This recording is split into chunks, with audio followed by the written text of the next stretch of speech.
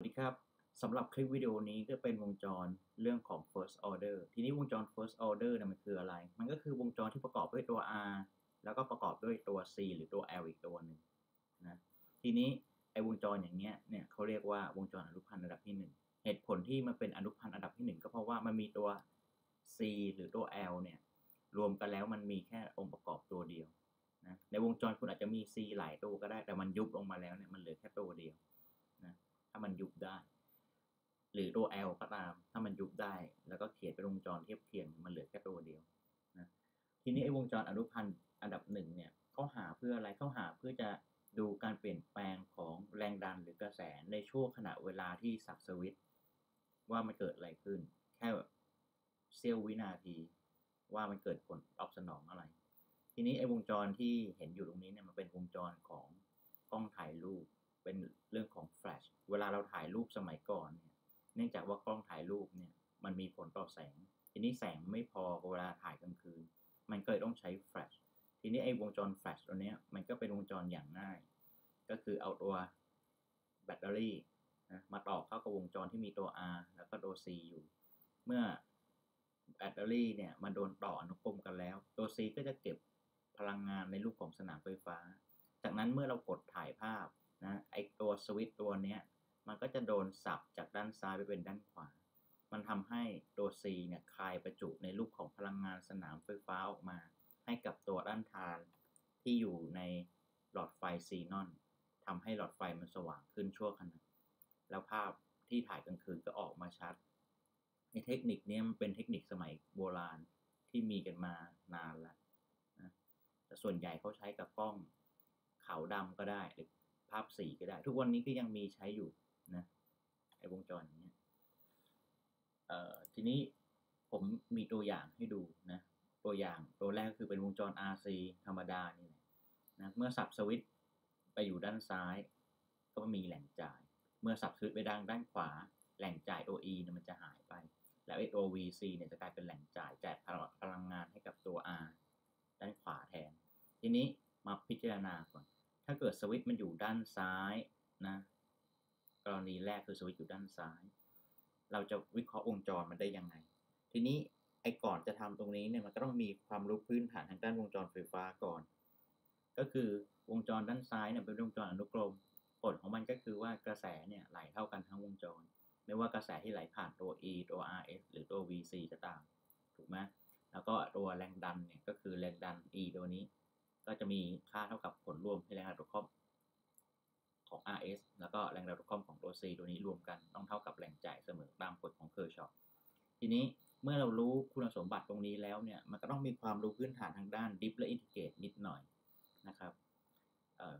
อย่างที่ได้ทบทวนไปเมื่อคลิปวิดีโอก่อนหน้านี้แล้ว ทีนี้จากกฎของวงจรไฟฟ้าเนี่ยนะผมก็จะใช้โหนด ในการวิเคราะห์ผมก็ตั้งตรงเนี้ยเป็นโหนดโหนดหนึ่งขึ้นมานะแล้วโหนดตัวนี้เนี่ยมันก็ตกคอมตัว VC ซะด้วยผมก็เลยให้ว่าโหนดตัวนี้ผมจะตั้งก็คือเป็นโหนด VC นะทีนี้ผมจะใช้ก็คือกระแสไหลเข้าต้องเท่ากับกระแสไหลออกถูกไหมทีนี้ถ้าเกิดเป็นวงจรทางด้านซ้ายมืออย่างเดียวเนี่ยขวามือไม่มีเพราะสวิตช์มันไม่ได้สับผมก็จะได้ความสัมพันธ์โดยใช้โหนดวิเคราะห์ก็คือ VC นะตัวนี้ VC ลบ ตัว E หารด้วย RS ผมก็จะได้กระแสฝั่งนี้ ถูกไหมผมก็จะได้เป็นเทอมนี้ แล้วก็กระแสที่ไหลผ่านตัว VC ไหลลง ผมก็ได้เป็นตัว C dV by dt นะบวกกันแล้วต้องมีค่าเท่ากับศูนย์เหตุผลเพราะว่ากระแสไหลเข้าต้องเท่ากับกระแสไหลออก เวลามันบวกกันผลรวมทางพีชคณิตมันก็ต้องได้เท่ากับศูนย์ถูกไหมครับ ทีนี้พอผมได้สมการนี้กับการใช้เรื่องของ node วิเคราะห์เนี่ย ทีนี้ node มันพูดถึงเรื่องของกฎของกระแสเคอร์ชอฟอันนี้มันเป็นเรื่องของวงจรหนึ่งนะครับ แล้วก็ถ้านักศึกษาไม่เข้าใจก็ลองกลับไปดูคลิปวิดีโอของวิชาวงจรไฟฟ้าหนึ่งนะเรื่องของโหนด ทีนี้พอผมได้สมการตัวนี้ตั้งต้นโดยใช้โหนดแล้วเนี่ยต่อไปมันเป็นเรื่องของคณิตศาสตร์ล้วนๆนะครับวงจรตัวนี้ไม่ต้องไปดูแล้วเพราะว่าใช้ตั้งแค่สมการเริ่มต้นเท่านั้น เมื่อเราได้สมการแล้วเนี่ยนะอันดับแรก ผมต้องการหาตัว VC อย่างเดียวจะทำยังไง ทีนี้ไอสมการตัวเนี้ยมันเขียนได้ 2 รูปแบบ จะเขียนรูปแบบนี้ก็ได้ หรือเราจะย้ายข้างสมการก็ได้ ถ้าเกิดเราย้ายข้างสมการอันดับแรกที่ต้องทำก็คือไอเทอมตัวนี้เนี่ยมันอยู่กับ t ใช่ไหมตัวแปรตัวนี้มันขึ้นอยู่กับตัว t ทีนี้มันเป็นตัวแปร ทีนี้ไอค่าคงที่เนี่ยควรจะย้ายไปอยู่ด้านขวาให้หมด เช่นอะไรบ้างอะตัว c ใช่ไหมครับ ค่าคงที่ ตัวแรงดันแล้วก็ตัว r ใช่ไหมเนี่ยเพราะเรารู้ค่ามันเนี่ยมัน เป็นค่าคงที่ แต่ตัว vc เนี่ยเราไม่รู้เพราะมันเปลี่ยนแปลงตามเวลา ทีนี้หน้าที่ของเราก็คือ จัดรูปแบบให้มันดีซะย้ายข้างสมการเอาตัวค่าคงที่ไปอยู่ขวามือนะตามหลักสากลทำนี้ สิ่งที่ต้องทำดับแรกก็คือย้ายตัว e เนี่ยส่วน r จากลบก็ย้ายไปเป็นบวกทางด้านขวามือถูกไหมก็จะได้เป็น e ส่วน r และตัว c เนี่ยมันคูณอยู่ถูกไหมครับ ก็เอามาหารทุกเทอม หารทุกเทอมแล้วเทอมแรกตัว c ก็จะหายไป และตัวหลังนี่ก็จะกลายเป็น r คูณ c แทน ถูกไหมแล้วก็ด้านขวามือเนี่ย จากเดิมตอนแรกมันเป็นบวก r ก็บวก e ส่วน r ใช่ไหมย้ายไปขวามือแล้ว เมื่อเรา c หารตลอด มันก็ต้องหารด้านขวามือด้วย ก็กลายเป็น e ส่วนด้วย rc นะ โดยที่ตัวแรงดัน vt ตัวนี้นะ มันก็คือแรงดันตกคร่อม capacitor ที่เวลาใดๆนั่นเอง เมื่อเราได้ความสัมพันธ์นี้แล้ว ถ้าเกิดผมเขียนสมัย อยากจะหาตัว dv by dt ถูกไหมครับ เมื่อกี้ดูนะตอนแรกเราได้ตัวนี้ ถูกไหมแต่ถ้าเกิดอยากจะหาตัว แรงดันอย่างเดียว เราได้เทอมหนึ่งเป็นดิฟถูกไหมครับ ก็คืออนุพันธ์อันดับหนึ่งของมันตัวนี้ นอกนั้นไม่มีอนุพันธ์ ทีนี้ถ้าเกิดเราอยากได้ก็คือ อยากได้อนุพันธ์ของมัน ถูกไหมเราก็ใช้ การดิฟหรือเขียนใหม่ ก็จะกลายเป็น dv by dt ทีนี้ไอ้ตัวนี้มันมาได้ยังไง dv by dt มันก็คือก้อนนี้นี่เอง ถูกไหม dvt by dt ตัวนี้แหละ แล้วก็ย้ายไอตัว vc เนี่ยย้ายจากฝั่งฝั่งซ้ายไปอยู่ฝั่งขวาซะ จากบวกก็กลายเป็นอะไรครับ เป็นลบ และไอตัวฐานเนี่ยมันเป็น rc เหมือนกัน มันก็ทำการบวกลบกันได้ ถูกไหมก็ย้ายกลายเป็น v ลบ vc หารด้วย rc นะหรือจะกลายเนี่ยกลายเป็นตัวนี้ทีนี้ ผมก็ดึงเครื่องหมายลบออกมาข้างหน้า ข้างในปกติเวลาย้ายไป มันจะกลายเป็นบวกทุกเทอมถูกไหมครับ ก็จะกลายเป็น v ถูกไหมส่วน rc จากบวกตรงนี้ย้ายกลายเป็นลบใช่ไหมครับ ถ้าเกิดผมดึงลบออกมาข้างนอกทั้งสองฝั่ง ผมก็จะได้เป็นตัวนี้ แล้วก็สลับเทอมกันเอา vc ขึ้นต้น แล้วก็ e ตามท้ายก็ได้ก็เป็นลบสองตัวนี้ จากนั้นแล้วนะ ผมก็ทำการ หรือคุณจะเขียนอีกนิยามอีกแบบหนึ่งก็ได้ ตัวนี้ เป็นแบบนี้ก็ได้ ทีนี้ถ้าเกิดเขียนทางด้านล่างเนี่ยก็คือเราจะเอาไปเทียบการอินทิเกรตเหตุผลเพราะอะไร ก็คือเอาตัว dt ตัวนี้เห็นไหมครับ ว่ามันอยู่ด้านล่าง ก็ย้ายไปอยู่ด้านบนซะ ถูกไหมย้ายคูณเฉียงคูณคูณขึ้นไปนะแล้วก็ไอตัวนี้คูณทะแยงลงมา ด้านซ้าย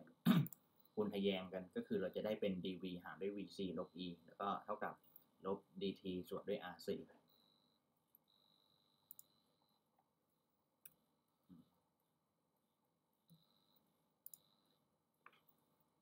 ทีนี้แล้ว เมื่อเราทำการย้ายข้างสมการนะได้อยู่ในเทอมตัวด้านซ้ายอยู่ในรูปของ dv แล้วก็ด้านขวาเป็น dt เห็นไหมครับว่าตัวตัวนี้แรงดันมันมีตัวเทียบก็คือตัว dv ตัวนี้ แล้วก็ตัว rc ก็มีตัวเทียบก็คือ dt จากนั้นทำการ integrate ทั้งสองฝั่งเข้าไปเลย integrate ตั้งแต่ v 0ถึง vc ใดๆนะเราก็ได้เป็นตัว integrate v 0ถึง vt นะครับ integrate ด้วย 1 ส่วนด้วย vc ที่เวลาใด ๆ ลบ e dv เท่ากับลบ integrate 0ถึงเวลาใด ๆ 1 ส่วน rc dt จากนั้นแล้วผลเฉลยทางด้านซ้ายมือเนี่ยเราจะได้อยู่ในรูปของเทอมลอน เหตุผลเพราะอะไรนะก็เพราะว่าไอตัวเมื่อเราเปลี่ยน v ตัวนี้เป็นตัวเทียบหนึ่งเอ่อเป็น v v ส่วนเอ่อ v ลบ e แล้วเนี่ย ไอตัว dv by dv มันได้หนึ่งแล้วก็ตัว div ลบ e มันได้ศูนย์ถูกไหมมันก็จะเหลือหนึ่งเพราะฉะนั้นเศษที่เกินมาตัวนี้ เราได้เป็น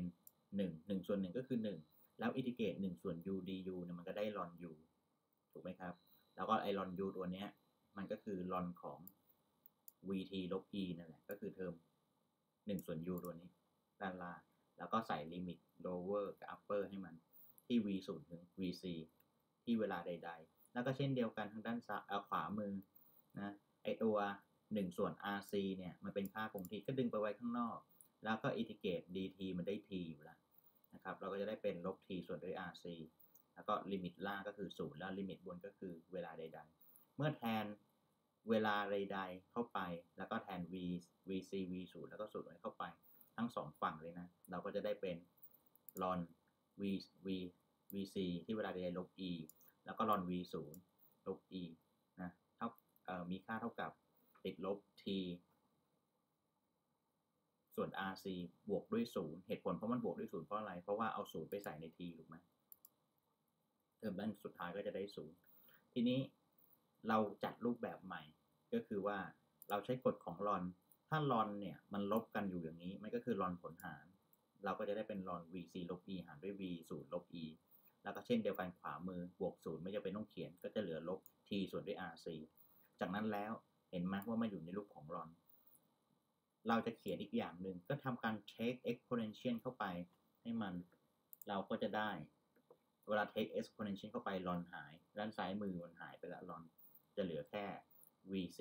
ที่เวลาใดๆลบ e หารด้วย v 0ลบ e ด้านขวาก็จะกลายเป็น exponential ยกกำลัง t ลบ t ส่วนด้วย rc แล้วก็เช่นเดียวกันนะเราต้องการหา vc ใด ๆ ใช่ไหมเราก็ต้องทำการย้ายเทอมล่างเนี่ยจากหารก็ย้ายไปเป็นคูณฝั่งขวา เราก็จะได้ตัวนี้ออกมา เป็น vt นะไอตัวติดลบตัวนี้เดี๋ยวก็ย้ายไปเป็นบวกซะก็จะกลายเป็น v ที่ตกข้อมตัวเก็บประจุที่เวลาใด ๆ ตัวนี้มันมีค่าเท่ากับตัว e โดนย้ายไปอยู่ด้านขวามือแล้วก็จะนะ e บวกด้วย v 0ลบ e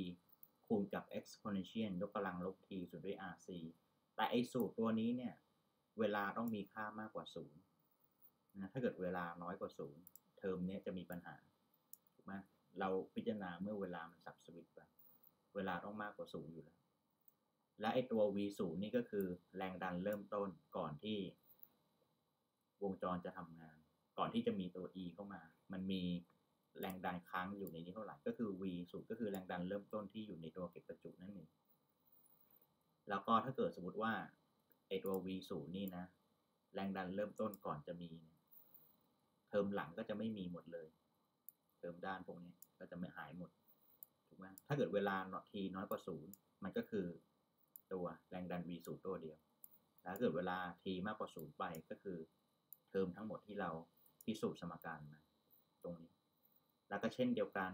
ถ้าเกิดสมมติเราบอกว่า ไอแรงดัน v 0เนี่ยมันไม่มี เพราะว่าวงจรมัน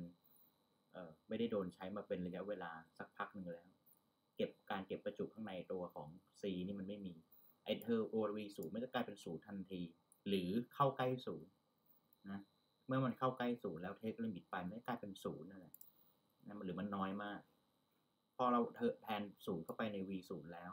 เราก็จะได้เทอมหลังเนี่ย นะเราก็จะดึงตัว e เป็นตัวรูปออกมาได้ ก็จะกลายเป็น e วงเล็บหนึ่งลบ exponential ยกกำลังลบ t ส่วน rc ได้เป็นเทอมล่างแทน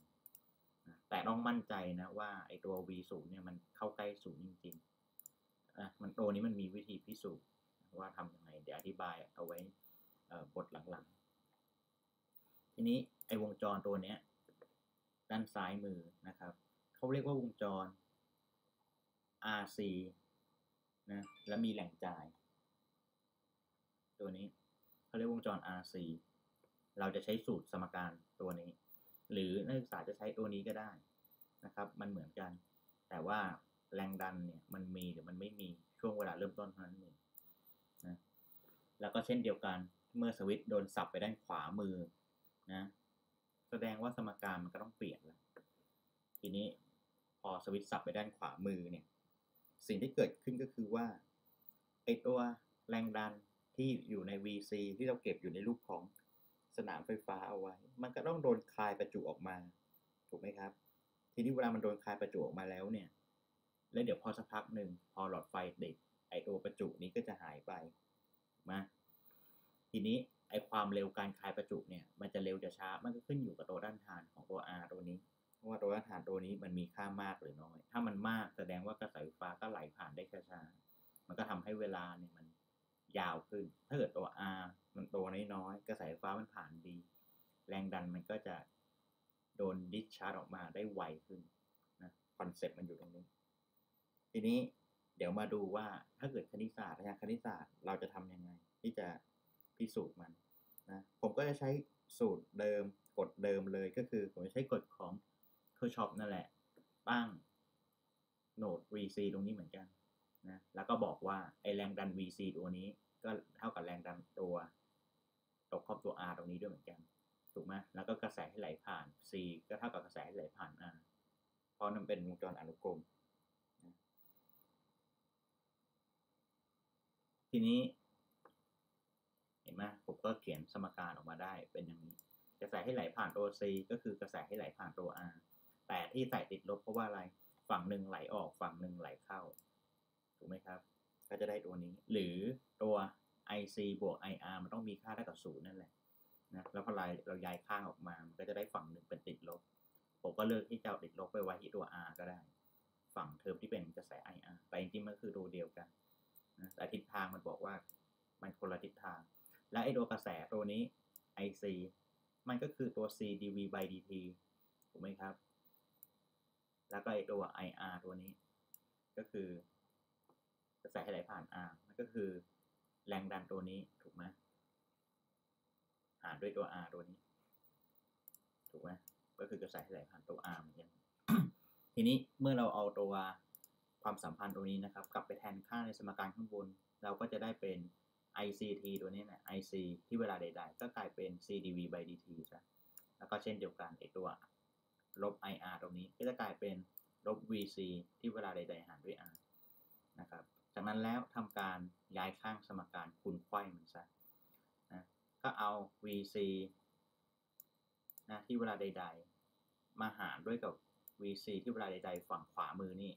ย้ายข้างมันยงลงมาแลตัว dt ตัวนี้ก็ย้ายขึ้นไปฝั่งขวามือ แล้วตัว c ตัวนี้ก็กำจัดให้หายไป ก็ย้ายไปด้านขวามือเช่นกัน ก็จะได้เป็นเอ่อ dv ที่เวลาใดๆหารด้วย vc ที่เวลาใดๆ เท่ากับ ลบ dip t เออหนึ่งส่วน rc dt นะครับจากนั้นก็เทคอินทิเกรตเข้าไปทั้งสองฝั่งนะมันก็จะได้กลายเป็นอินทิเกรตที่ v สูงทั้ง vc ที่เวลาใดๆ v เอ่อ dv ที่เวลาใดๆหารด้วย vc ที่เวลาใดๆ เป็นเทอมด้านซ้ายมือ แล้วก็เท่ากับลบ integrate ศูนย์ถึง t หนึ่งส่วน rc dt จากนั้นแล้วก็ integrate ออกมานะโดยการเปลี่ยนตัวเทียบตัว vc ตัวนี้อ๋อหน้าตามันเหมือนกันละ อย่างนี้คุณ integrate ได้เลย มันก็ได้เป็น1ส่วน u ใช้1ส่วน u ก็คือได้ ln u ก็ได้เป็นลอน vc นะแล้วก็ take ลิมิตบนลิมิตล่างเข้าไป โดยเป็นลิมิตล่างคือ v 0แล้วลิมิตบนก็คือ vc ที่เวลาใด ๆ ก็ได้เป็นลอน vc ที่เวลาใด ๆ ลบ ln v 0นั่นเองนะแล้วก็ด้านขวามือ integrate 1ส่วน rc dt 1 ส่วน rc เป็นค่าคงที่ เพราะนั้น integrate 0ถึง t dt ก็คือได้ t ถูกไหมครับ แล้วก็ด้านขวามือก็จะได้เป็นผลเฉลยก็คือลบ t ส่วนด้วย rc เมื่อเรา take ลิมิตล่างและลิมิตบนเข้าไปแล้วเนี่ย ไอตัวลิมิตล่างเป็น 0 เพราะฉะนั้นเทอมหลังก็จะกลายเป็น 0 และลิมิตบนเป็น t เอา t มาแทนใน t ก็ได้ตัวเดิม เพราะฉะนั้นเขียนใหม่เป็นบรรทัดด้านล่างนะ ทางด้านซ้ายมือใช้กฎของ ln ln ผลหารก็คือไอ้ ln ผลลบก็คือ ในวงเล็บของ ln มาหารกันก็ได้เป็นรอน vc ที่เวลาใดๆ หารด้วย v 0แล้วก็ด้านขวามือได้เป็นลบ t x เอ่อส่วนด้วย rc เช่นเดียวกันต้องการทำรอนให้หายก็ take exponential เข้าไปทั้งสองฝั่ง ฝั่งขวาไอ้ฝั่งซ้ายก็จะไม่มีแล้วนะกลายเป็น vc ที่เวลาใดๆหารด้วย v 0เท่ากับ exponential ยกกำลังลบ t ส่วน rc และเช่นเดียวกัน ถ้าเกิดต้องการหาเทอม vc ก็ย้าย v 0ไปทำอะไรครับ จากหารก็ย้ายไปเป็นคูณซะ เราก็จะได้เป็น แรงดันตกข้อมตัวเก็บประจุที่เวลาใดๆนะเท่ากับแรงดันเริ่มต้นที่ตัวเก็บประจุเก็บเอาไว้อยู่ ก่อนหน้าที่จะสับสวิตมาด้านขวามือคูณกับเทอมของ exponential ยกกำลังลบ t ส่วน rc วงจรตัวนี้นี่สมการตัวนี้เป็นผลเฉลย ไอตัวนี้เนี่ยมันก็คือวงจร RC circuit source free หมายความว่าวงจรอนุพันธ์อันดับที่ 1 ที่ประกอบด้วยตัว R และตัว C โดยไม่มีแหล่งจ่ายจะใช้สมการนี้นะเราจะได้สองสูตรแล้ว สูตรแรกก็คือ ถ้ามีแหล่งจ่ายใช้ตัวนี้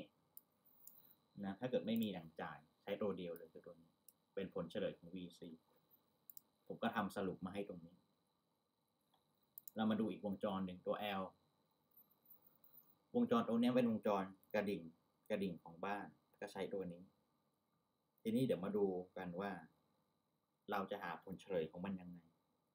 วิธีหาผลเฉลยก็เช่นเดียวกันเลย ใช้เหมือนตัวตัว C แต่ว่าผมจะอธิบายวงจรนี้นิดนึงว่าวงจรนี้เนี่ยเเขาใช้ทำอะไร มันเป็นวงจรกระดิ่ง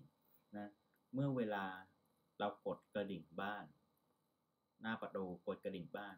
ไอสวิตช์ตัวเนี้ยจากด้านซ้ายนะ มันโดนชาร์จ จน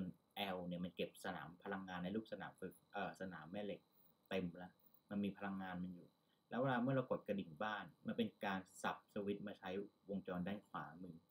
มันก็จะไอตัว L ตัวนี้ก็จะคายพลังงานไฟฟ้าออกมาในรูปของสนามแม่เหล็ก มาสั่นตัวกระดิ่งที่อยู่ในเออตัว R ที่อยู่ในกระดิ่ง นะทำให้มันดังแค่แวบเดียว แล้วก็หายไปเมื่อเราปล่อยมือไอสวิตช์นี่ก็จะกลับไปทางด้านซ้าย แล้วก็ไปชาร์จพลังงาน เก็บเข้ามาเก็บใน L ใหม่อันนี้หลักการมันเป็นวงจรอย่างง่ายนะแต่ว่าเราใช้ในการศึกษาผลตอบสนองได้ ทีนี้อันดับแรกนะครับ ผมก็พิจารณาวงจรด้านซ้ายมือก่อน วงจรด้านซ้ายมือนะมีแหล่งจ่าย ตอนแรกผมใช้กฎของ Kirchhoff ที่เป็นกระแส ทีนี้ผมจะใช้กฎของ Kirchhoff ที่เป็นแรงดันมั่งทีนี้ถ้าเกิดผมใช้กฎของ Kirchhoff ที่เป็นแรงดันนะผมก็มองว่าไอแรงดันเนี่ยทั้ง 3 ตัวรวมกันต้องได้เท่ากับศูนย์ถูกไหมครับ ทีนี้หรือแรงดันตกข้อมตัว RS กับตัว VL ตัวนี้บวกกันต้องได้เท่ากับ E ผมก็ตั้งสมการเลยนะว่าแรงดันตกข้อมตัว L ก็คือ VL นะบวกด้วยแรงดันที่ตกข้อมตัว R ก็คือ I คูณ R นะ ก็คือตัวนี้ต้องมีค่าเท่ากับแรงจ่าย เท่ากับตัว E ด้านขวามือ ทีนี้ผมเลยย้ายตัว E ด้านขวามือย้ายมาเป็นฝั่งซ้ายมือก็แบบเป็นลบ E ซะจะได้เป็นวงจร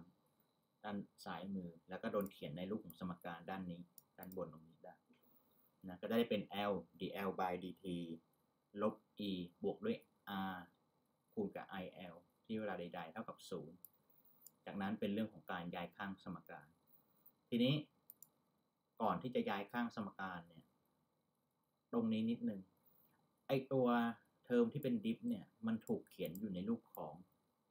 i ใช่ไหมแต่ตัวนี้ถูกเขียนอยู่ในรูปของตัว e แล้วก็ตัวด้านขวาไอตัวเทอมสุดท้ายก็ถูกเขียนอยู่ในรูปของตัว i ทีนี้ผมก็เลยต้องการเปลี่ยนตัว e ตรงนี้ให้มันเป็นตัว i ซะ เหตุผลเพราะอะไร เพราะว่ามาดูรูปวงจร วงจรด้านซ้ายมือเนี่ยเป็นวงจรอนุกรม กระแสที่ไหลผ่านตัว L ถูกไหมครับ มันก็คือกระแสที่ไหลผ่านตัว R เช่นกัน แล้วมันก็คือกระแสที่ไหลผ่านตัวตัว E เช่นกันถูกไหมทีนี้ถ้าเกิดผมต้องการจะหาตัวตัว I IL ตัวนี้ ผมก็ทำการเปลี่ยนแหล่งจ่ายตรงนี้ ให้กลายเป็นแหล่งจ่ายกระแสซะ มันก็จบแล้วก็คือ E ส่วน R นะ ก็ได้เป็น E ส่วน R เท่ากับ I เอา I ตรงนี้เป็นแหล่งจ่ายกระแส ก็ทำการเอาตัว R ไปหา ทีนี้ในตัว R ตัวนี้ไม่ใช่ว่ามันก็คือตัว RS ตัวนี้ไม่ใช่นะไอตัว R ตัวเนี้ย ถ้าเกิดมันมีหลายตัวในวงจร มันก็ต้องยุบให้เหลือตัวเดียวนะให้มันเป็นตัว RS ซะก่อนในวงจร ทีนี้ ถ้าเกิดสมมติว่าเรายุบแล้วนะครับ แล้วก็ทำการเปลี่ยน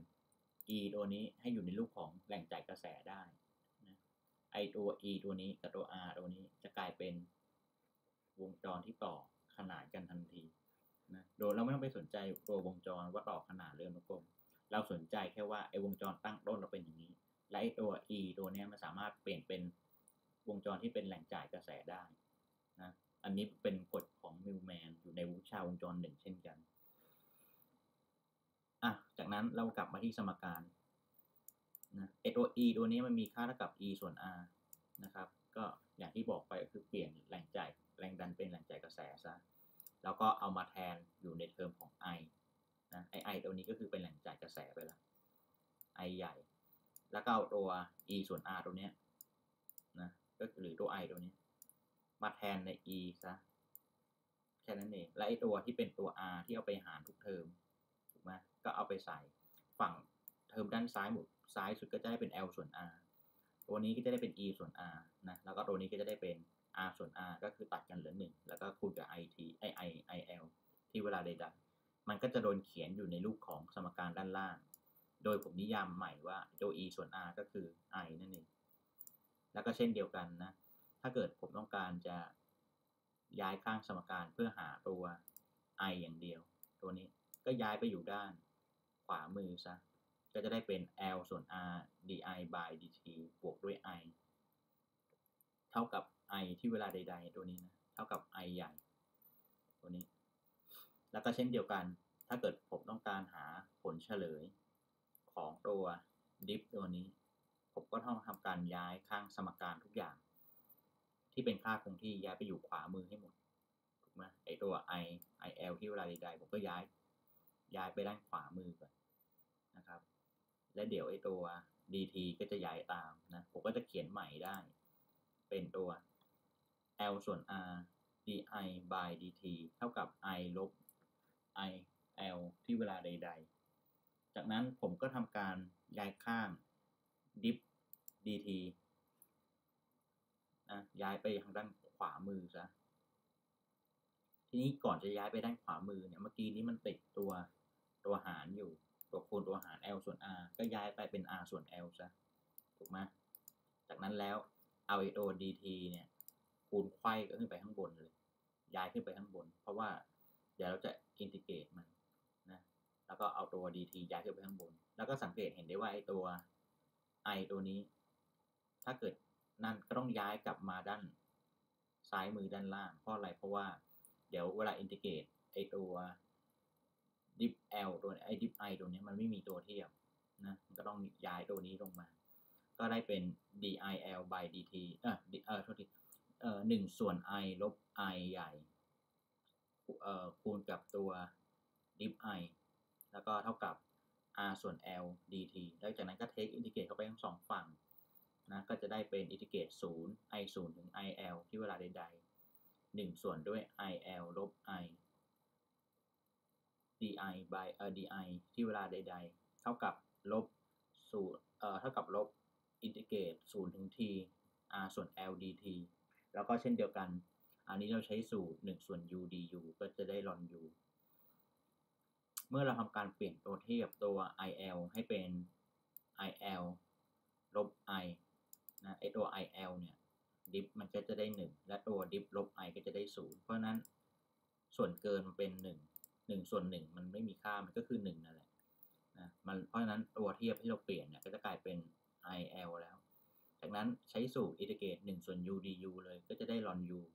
ทีนี้ผลเฉลยมันก็คือจะได้เป็นลอน il ลบ i ที่ i 0ถึง il เวลาใดๆ ทางด้านขวามือก็เช่นเดียวกัน integrate 0ถึง t r ส่วน l เออลบ r ส่วน l ที่ dt นะแล้วก็จะได้ผลเฉลยกลายเป็นลบ1 r ส่วน l t แล้วก็ลิมิตล่างก็คือ 0 แล้วก็ลิมิตบนก็คือ t เมื่อเราแทนลิมิตล่างและลิมิตบนเข้าไป เราก็จะได้เป็นลอน il ลบ i แล้วก็ลบด้วย ln i 0ลบ i ทางด้านขวามือก็เช่นเดียวกัน จะได้เป็นแทนลิมิตบนไปก่อนนะ t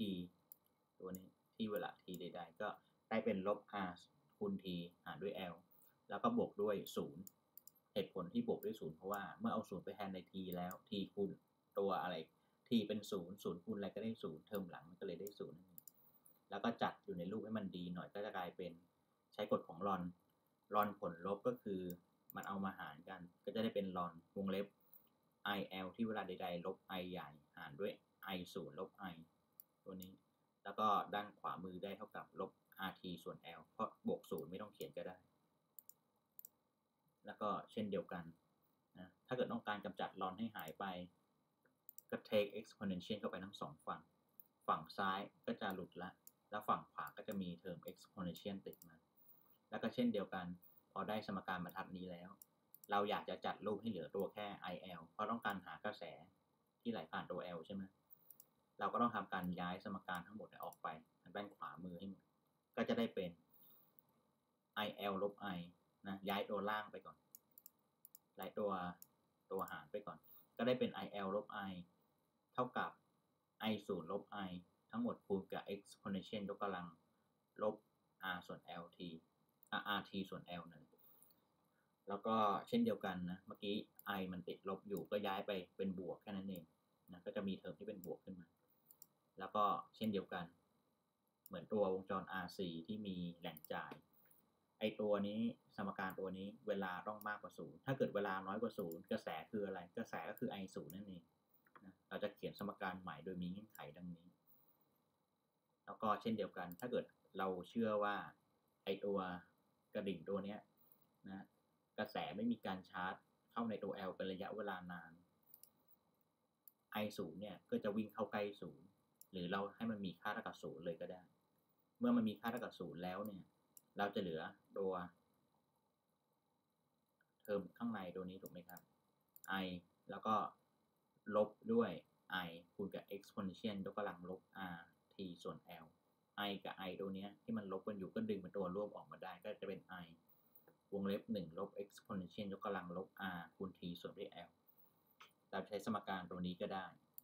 หรือตัวนี้แต่สมการด้านล่างต้องมีข้อแม้ว่า it เนี่ยวิ่งเข้าใกล้ศูนย์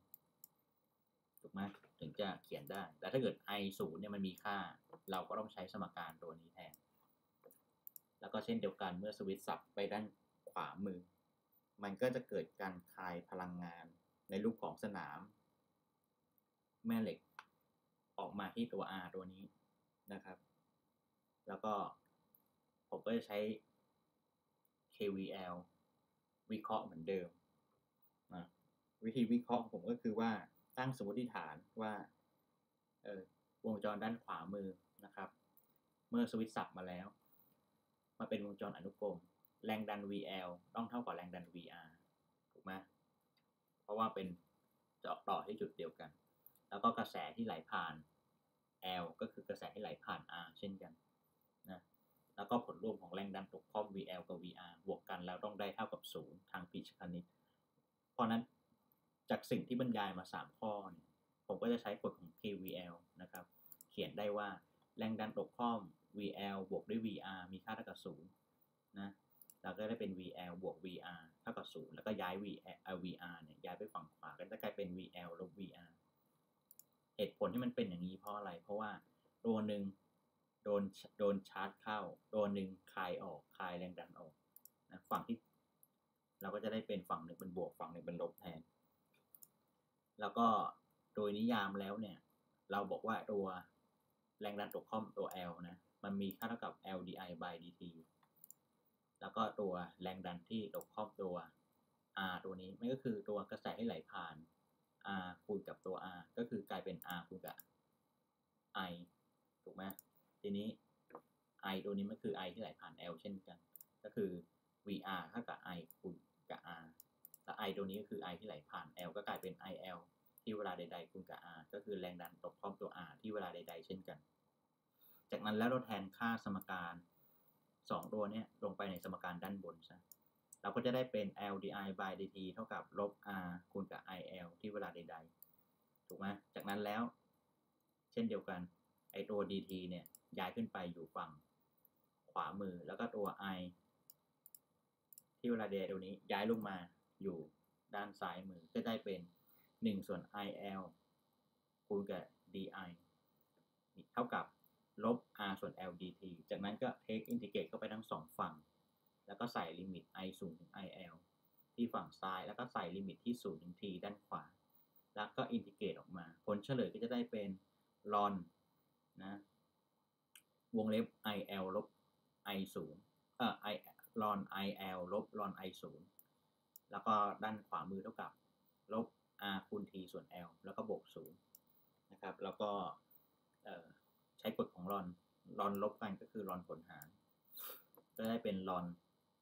il ส่วน i 0เท่ากับลบ rt ส่วน l ทีนี้ไอตัวลอนตัวนี้ในทางคณิตศาสตร์เราไม่ค่อยใช้ใช้ exponential มากกว่า ก็ take exponential เข้าไปทั้งสองฝั่งลอนก็จะหาย ฝั่งซ้ายก็จะเหลือเป็น il ส่วน i 0 นะแล้วก็ฝั่งขวาก็จะเหลือเป็น exponential ยกกำลังลบ r คูณ t ส่วนด้วย l จากนั้นนะครับ เราก็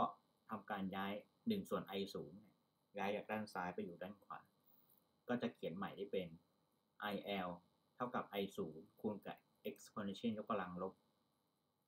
r ส่วน l คูณกับ t นะผมก็ทำสรุปมาให้เป็นตัวนี้ กรณีถ้าเกิดเป็น r rl ไม่มีแหล่งจ่าย หรือเขาเรียกว่า short free circuit ตัวนี้เนี่ย มันจะใช้สมการด้านบน แต่ถ้าเกิดกรณีถ้ามีแหล่งจ่ายเราใช้สมการด้านล่างสำหรับคลิปวิดีโอนี้นะก็ขอจบเพียงเท่านี้ก่อน แล้วก็เดี๋ยวคลิปวิดีโอหน้ามันเป็นเรื่องของการเอาสูตรพวกนี้ไปประยุกต์ใช้ในวงจร วิเคราะห์วงจร นะวิดีโอนี้ก็เป็นพูดถึงที่มาที่ไปของสมการ มีทั้งหมด 4 สมการนะผมก็ทำการสรุปไว้ให้แล้ว ตรงนี้แล้วก็หน้านี้นักศึกษาลองไปดูทบทวนดูนะครับสำหรับคลิปวิดีโอนี้ก็ขอจบตรงนี้ก่อนนะครับแล้วเดี๋ยวคลิปวิดีโอหน้าก็จะเป็นเรื่องของการประยุกต์ใช้ first order ในวงจรไฟฟ้า ครับ สวัสดีครับ